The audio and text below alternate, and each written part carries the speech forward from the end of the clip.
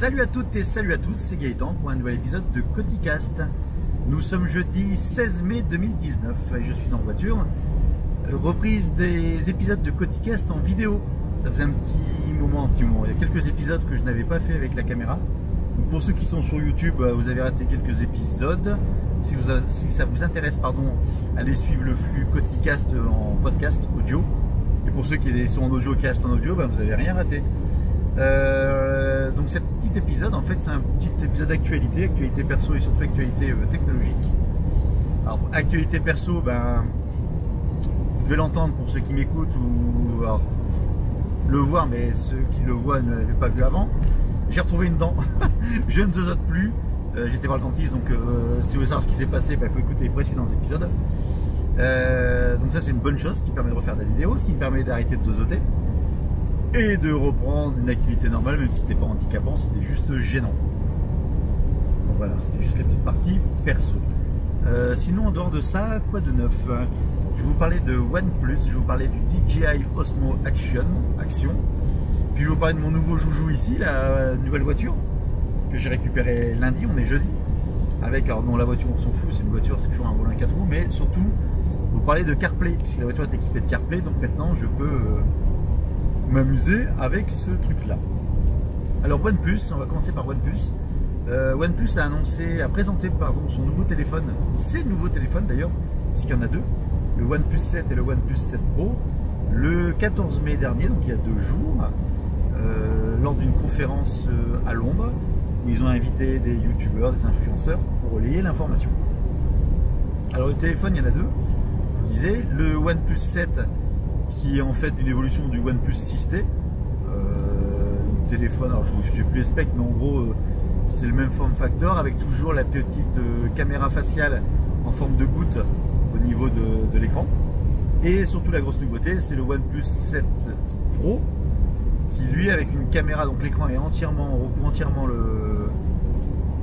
L'écran recouvre entièrement le téléphone, et pas l'écran, pardon, avec une caméra faciale frontale qui en fait qui sort par un petit mécanisme donc qui est intégré dans le châssis du téléphone et qui sort à la demande par un petit moteur.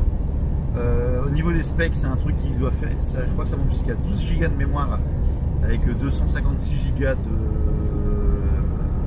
stockage. Donc c'est des bêtes de course pour 829 euh, euros si je dis pas de bêtises sur le modèle haut de gamme. Donc on n'est plus du tout dans euh, on n'est plus du tout dans le marché euh, bas de gamme, dans le flagship killer que pouvait être OnePlus. Lorsqu'il a sorti ses premiers téléphones, euh, il était dans des, dans des marchés très bas et euh, dans des prix très bas, pardon. Et l'idée pour lui, c'était vraiment de, de, casser le marché et de se positionner dans des, dans des bons téléphones à pas cher. Là, il, commence à rejoindre. Alors, on n'est pas encore sur les coups des 1000 euros, mais je pense que dans la prochaine, prochaine version, voire la version d'après, on n'y sera pas loin. Plus. Alors, deux choses. Euh, déjà, avant de parler du prix, c'est juste et de la partie marketing. Pour revenir sur ce téléphone, en fait, c'est le téléphone, donc euh, l'écran qui recouvre entièrement avec cette fameuse caméra qui sort. C'est pas le premier à faire ça. Il y a quelques modèles chinois qui ont déjà sorti cette, euh, cette caractéristique. Il y a également Xiaomi qui a fait un téléphone à clapper qui permet de protéger également la caméra. Alors pourquoi pas? Mais donc c'est pas le premier à faire ça. Deuxième chose, il n'a pas de recharge sans fil euh, sur ce téléphone-là. Alors qu'aujourd'hui, bon, les téléphones sont tous plus ou moins maintenant avec des, recharges euh, sans fil et voire même avec des recharges réversibles. En gros, vous posez votre, euh, votre autre smartphone derrière le premier et l'un va recharger l'autre. C'est-à-dire que votre, votre, smartphone fait également batterie sans fil. Donc ça peut être intéressant sur des AirPods ou des, ou des produits qui peuvent se recharger avec un élément sans fil.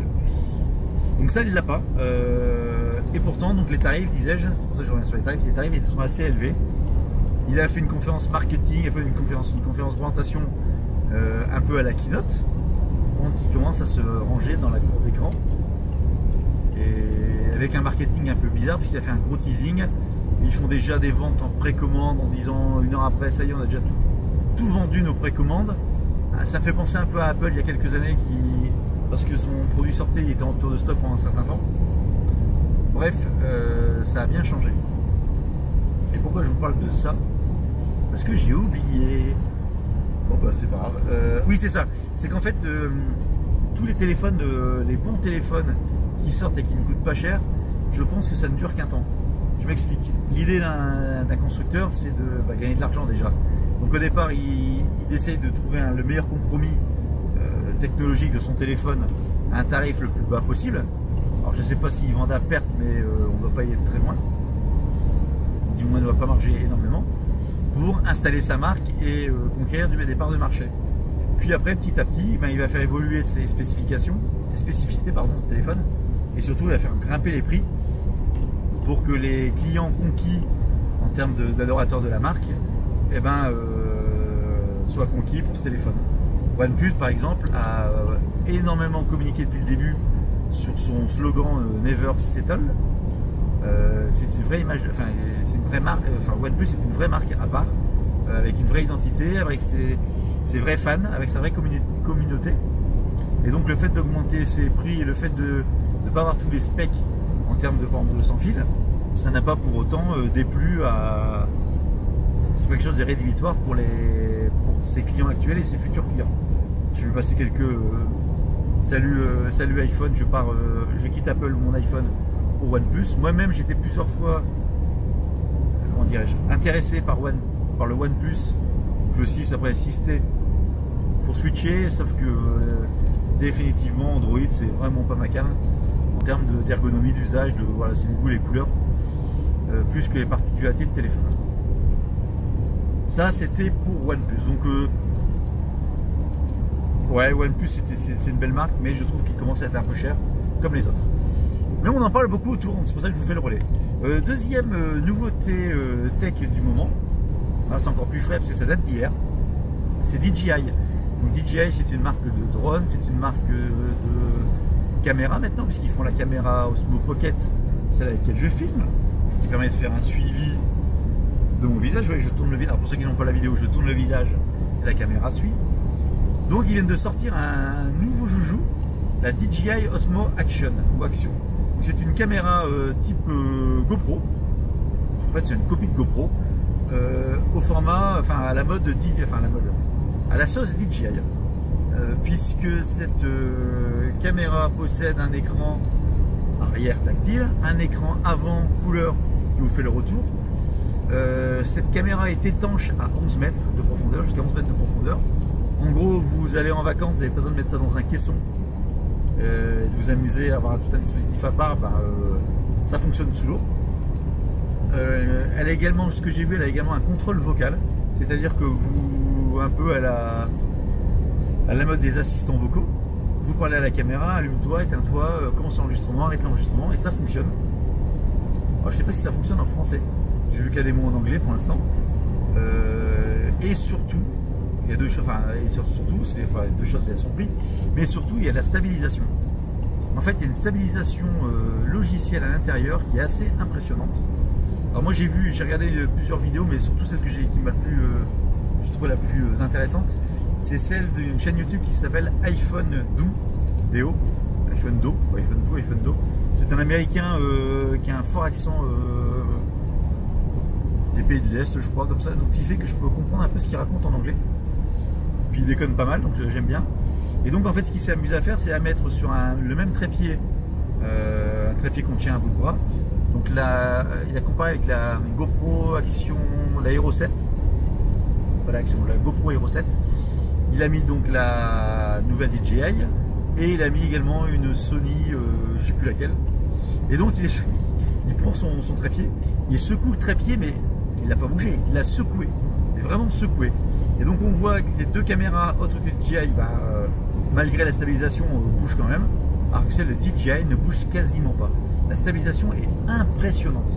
C'est-à-dire qu'en gros, vous prenez la caméra dans votre main, vous la secouez comme une bouteille de, comme une canette de coca qu'il ne faut pas secouer, bah, l'image ne va pas bouger. Et rien que ça, au niveau technologie, c'est euh, assez, c'est assez bluffant. après, donc, il fait des comparatifs de, de couleur, enfin de, définition d'image. On voit également que la caméra euh, a un effet un peu moins euh, fish eye que les deux autres. Alors l'effet fish eye, c'est qu'en fait, lorsque sur votre euh, prise de vue, sur les côtés, les, les angles droits deviennent, enfin les lignes droites deviennent légèrement courbées. C'est dû en fait à l'angle de prise de vue de, l'objectif, si je dis pas de bêtises. Et sur cette DJI, ça a l'air de le faire un peu moins. Et tout ça pour un prix de 379 euros. Et moi, de mémoire, il me semble, alors là, j'ai peut-être dire une bêtise, j'ai pas le temps de vérifier, mais il me semble que les GoPro sont beaucoup plus chers. Je crois qu'on tourne aux alentours de 500, 600 euros. Donc si c'est vraiment, euh, si ces prix sont vraiment là pour euh, GoPro, DJI frappe, très très très très fort. C'est-à-dire qu'il vient marcher sur les plates-bandes de, enfin même pas sur les plates-bandes, il vient totalement écraser euh, la concurrence avec ce truc-là. et c'est assez impressionnant. Donc c'est un très beau joujou. Ne veux pas je vais la prendre parce que je n'ai pas, pas l'utilité. Moi j'ai une petite GoPro Lite que j'ai payé ça 40 balles et qui va très bien pour le peu que j'en fais et que j'utilise. Mais rien que la stabilisation, je m'étais déjà euh, surpris euh, quand, bah, quand j'ai filmé la première vacances sous l'eau avec mes petits poissons. Euh, quand j'ai commencé à regarder la vidéo, j'ai sais que c'est pas stabilisé et c'est un peu déroutant quand on filme. Enfin, quand on voit la vidéo après le coup en se disant c'est vrai que j'ai pas pensé que c'était pas stabilisé. Faut que je fasse attention. Voilà, donc ça c'était pour la partie DJI Osmo Action, Action, Action. Et l'un comme l'autre entre la, le OnePlus et le cette caméra là DJI, il y a un point commun, c'est qu'en fait euh, les constructeurs vous annoncent une nouveauté à partir du, bah c'était à partir du 15 mai, je crois que c'était 17h ou 15h, je sais plus. Euh, pour le OnePlus, c'était présentation du OnePlus à Londres à partir de telle date et, telle heure. Et à l'heure pile, plus une minute, vous avez plein de youtubeurs qui lancent des vidéos de tests de produits. Donc ils ont été sélectionnés par le constructeur, ils ont pu tester en amont euh, le produit, le téléphone ou la caméra. donc leur vidéo est prête et en fait une fois que l'annonce est partie, hop, ils communiquent là-dessus. Enfin ils communiquent, ils balancent leur test, ils parlent du produit. Et en fait c'est pas con du tout de la part d'un constructeur, c'est pas nouveau. Mais je me dis qu'aujourd'hui il n'y a même plus l'intérêt euh, de faire une, annonce euh, en live type keynote, une présentation, autant directement faire un communiqué de presse et laisser les youtubeurs les influenceurs, faire le job, puisqu'ils le font plutôt très bien et chacun a leur sauce. Chaque youtubeur ayant sa, sa patte lorsqu'il font sa vidéo, et ben vous avez une vidéo de votre youtubeur préféré entre guillemets qui va vous parler du produit qui vous intéresse à sa manière. Alors effectivement, on peut se dire que c'est pas très neutre puisque le produit a été filé par le constructeur. Euh, peut-être qu'ils ont même été payés, je ne sais pas. Mais somme toute, ça vous permet quand même d'avoir avec 2-3 vidéos d'avoir un, comment un tour d'horizon du produit assez rapidement et, plutôt euh, qui paraît plutôt honnête. Et donc cette partie euh, YouTube, euh, enfin ouais, j'étais sur YouTube, YouTube qui présente les produits, c'est ça devient une vraie plateforme publicitaire. En fait, les mecs font la pub pour les téléphones en faisant le même de la pub dans leur pub. Enfin bon, vous avez compris le principe, un peu d'inception, inception, de publicitaire sur YouTube. Bon voilà, c'était surtout, je voulais parler de ces deux trucs là parce que c'est les produits dont on parle cette semaine. Et dans les deux cas, ça m'avait euh, pas choqué, mais ça m'avait vraiment euh, euh, cette histoire de YouTube, les vidéos qui sortent sur YouTube tout de suite, c'était vraiment caractéristique du truc du moment. Je suis peut-être naïf, hein, ça, arrive, ça, arrive, pour d'autres produits, mais c'était quand même assez assez marquant. Voilà. dernière chose, après je vais vous laisser tranquille donc la voiture dans laquelle je me trouve. Alors j'espère que, il me semble que la voiture est moins bruyante que la précédente. Donc au niveau du son pour la partie podcast, euh, pour la partie caméra, ça devrait être un petit peu mieux. Donc c'est la 3008, c'est une voiture diesel parce que c'est voiture de fonction et puis je fais un peu, un peu beaucoup de kilomètres quand même euh, par an.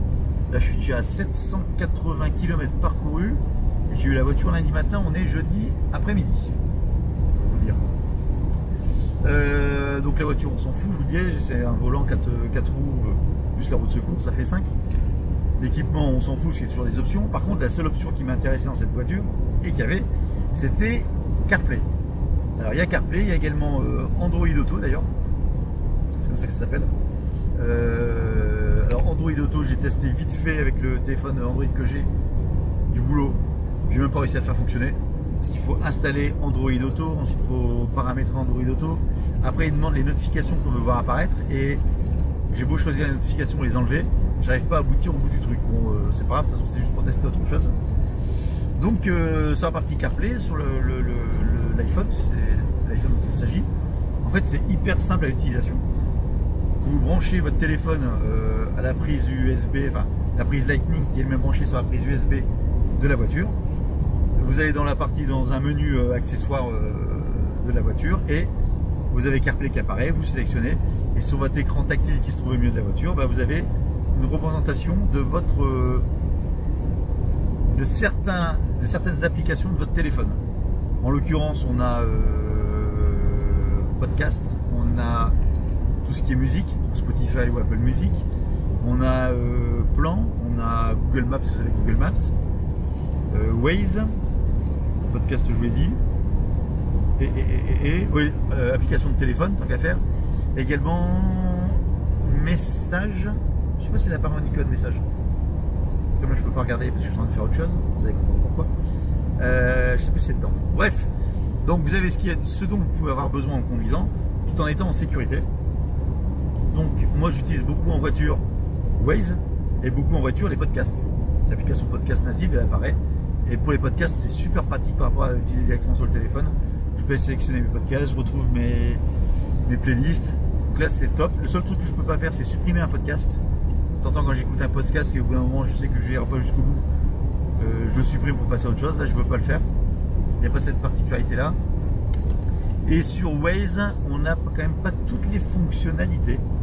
On a une bonne partie, mais celle qu'il n'y a pas, il y en a deux qu'il n'y a pas et qui me manquent. La première, c'est la vitesse réelle. C'est-à-dire que sur Waze, vous avez votre vitesse qui apparaît. Ce qui me permet moi de voir à quelle vitesse je roule réellement par rapport à mon compteur. Parce que vous savez que les compteurs sont jamais juste à 100%. Et donc bon bah, voilà. Et deuxième chose, donc ça on ne l'a pas. On a juste la vitesse qui apparaît lorsqu'on dépasse la limite de vitesse qui apparaît sur l'application. Mais c'est pas grave parce qu'en fait sur cette voiture là on a même la limite de vitesse qui apparaît sur le tableau de bord. Donc il y a des petites caméras apparemment qui reconnaissent les panneaux, ce qui est bien pratique. Et euh, la, deuxième chose, la deuxième chose qui manque sur Waze, c'est lorsque vous êtes sur une zone à risque. En l'occurrence un accident mais surtout des zones de radar vous avez un petit, euh, donc vous avez une notification des barres qui vous rentrez dans une zone de contrôle et une petite notification lorsque vous sortez de la zone de contrôle. Et par contre, entre ces deux notifications, vous avez une petite barre de progression euh, par rapport à la zone dans laquelle vous vous trouvez. Or, sur la partie Waze euh, CarPlay, cette barre n'apparaît pas. En gros, si vous avez raté la notification de vous rentrer dans une zone de contrôle, vous n'avez pas l'info comme quoi vous êtes dans une zone de contrôle ça peut être un peu piégeux. Vous allez me dire, t'as qu'à respecter une limitation de vitesse. Je sais. Mais j'aime bien savoir, enfin, c'est une fonction que j'utilise. Ça, à un moment donné, que je suis bien dans une zone euh, à risque. clairement, une zone à risque. Ça, c'est pour la partie Waze. Sur la partie podcast, je vous l'ai dit également. Euh, qu'est-ce qu'il y a d'autre? Après, sur la partie message. Ah oui, aussi, lorsque vous recevez un message, un SMS, lorsque je suis sur Waze et que je reçois un SMS, j'ai un bandeau de notification qui apparaît en haut, euh, qui me dit ben, vous avez un message de euh, un tel et qui reste dessus. En fait, la, notification reste en, permanence. Je suis obligé d'appuyer sur le bouton pour que j'arrive dans la partie euh, message où là, il va me dicter. Le message, il n'est jamais affiché. Il est dicté, enfin, il vous propose de dicter le message. Vous reçu.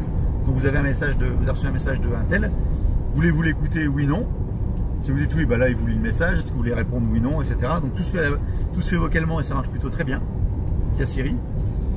Et si vous appuyez pas sur ce fameux euh, notification, bah, vous avez une grosse barre au milieu euh, de Waze qui fait qu'on voit même pas les panneaux indicateurs, enfin les panneaux, les prochaines, euh, oui, les indications de direction à prendre.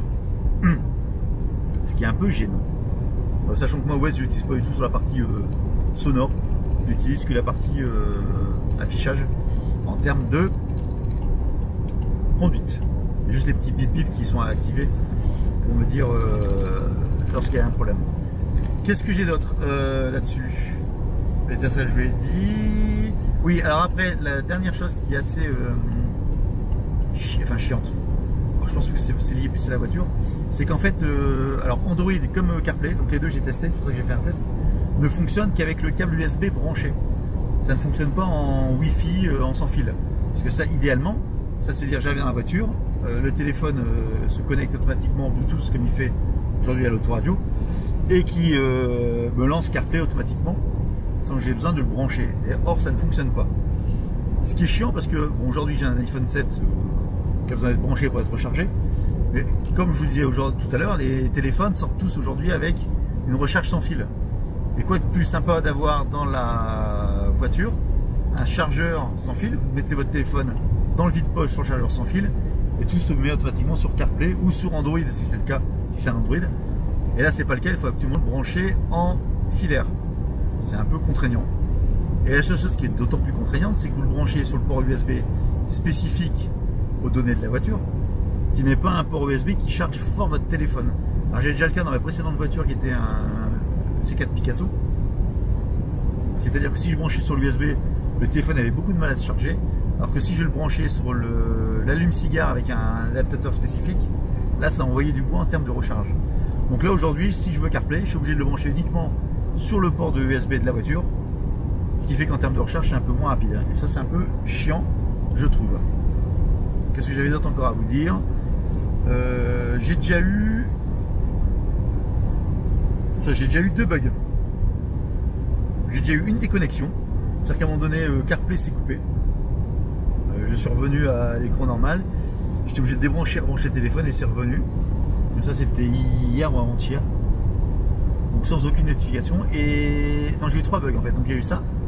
J'ai eu également, donc lorsque vous êtes sur CarPlay, que vous avez un appel, et eh ben c'est le masque de l'iPhone qui apparaît avec les boutons décrocher, raccrocher. Euh, un message pour dire que vous n'êtes pas dispo. Et j'ai eu le cas où c'est pas l'iPhone qui s'est affiché, mais l'appel de l'autoradio, enfin de, la voiture.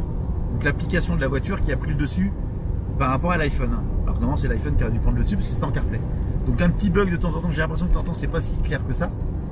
Alors je pense pas que ce soit CarPlay ou Android qui, qui pose problème, mais plus l'intégration dans la bagnole. J'ai l'impression. Et le dernier truc que j'ai eu, non donc c'est ça, donc j'ai eu ça. Et ce matin j'étais en ligne euh, en conduisant, euh, en ligne, un seul coup ça a coupé. Et CarPlay, il y avait plus rien qui s'affichait. Le téléphone, en déverrouillant le téléphone, il n'y avait rien qui s'affichait, c'était une...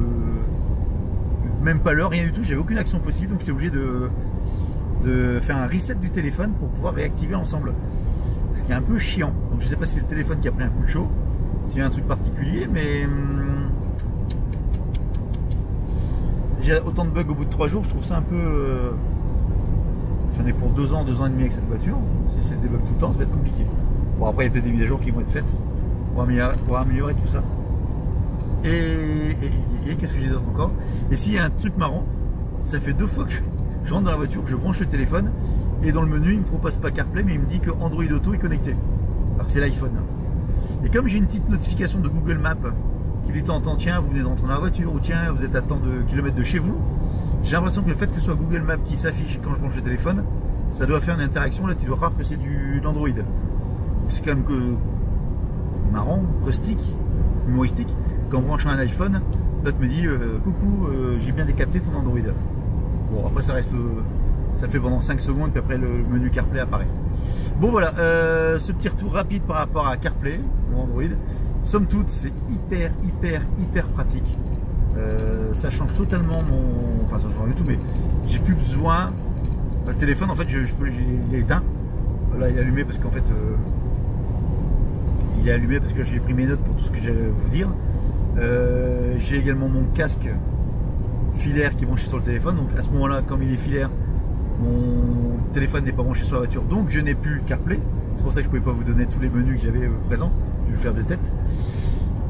Euh, et quoi d'autre? Et si, si, jamais donc je suis en CarPlay, genre Waze, sur un podcast, et que je déverrouille le téléphone, donc j'arrive sur le menu d'accueil, à ce moment-là, le, le, Waze disparaît de l'écran d'accueil, de l'écran de la voiture, pardon, et je reviens sur l'écran d'accueil. Donc en fait, ça reste somme toute une sorte de d'écran miroir du téléphone, mais limité à certaines applications. C'est-à-dire que si je vais sur mail, je n'ai pas mes mails qui apparaîtront. Si je vais sur euh, sais rien, le cours de la bourse, je n'aurai pas le cours de la bourse qui apparaîtra. Euh, le cours de la bourse, on s'en fout. La météo, tiens, si je veux la météo, je n'aurai pas la météo qui apparaîtra sur, sur la voiture. Seules sont autorisées les applications autorisées, justement, que sont les trucs de guidage, musique, podcast et euh, partie téléphonie, euh, contact téléphonique.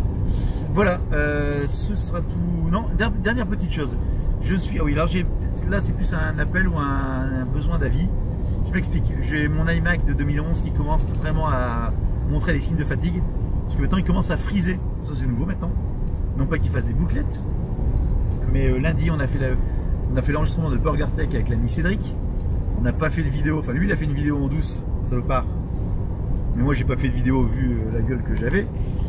Euh, donc j'ai fait que l'enregistrement GarageBand classique. Et ben le GarageBand s'est planté, en fait l'ordinateur a figé pendant l'enregistrement. Pourtant GarageBand c'est pas ce qui prend le plus de, de puissance. Et j'ai eu le cas également deux ou trois fois depuis. Euh, vous faites un truc d'un seul coup, l'ordinateur se fiche pendant 5, 10, 15, 20 secondes. Et après il se, il, se, il se défrise, il se lisse, il se lisse les cheveux. Donc après ça, donc ça se bloque. Donc pour moi c'est un signe que ça va bientôt partir en cacahuète. Donc justement j'étais déjà intéressé à changer. Euh, mais j'hésite entre. Alors je vais rester sur Mac, je vais pas passer sur PC non pas par euh, fanboyisme, c'est juste que l'univers Mac me va bien. J'ai là mon boulot, ils m'ont changé de PC, j'ai un Windows 10, donc j'ai pu comparer les deux. Je préfère, je préfère rester sur, euh, sur Mac, donc c'est un choix. Mais j'ai deux possibilités. Soit je reprends un, iMac 27 euh, pouces,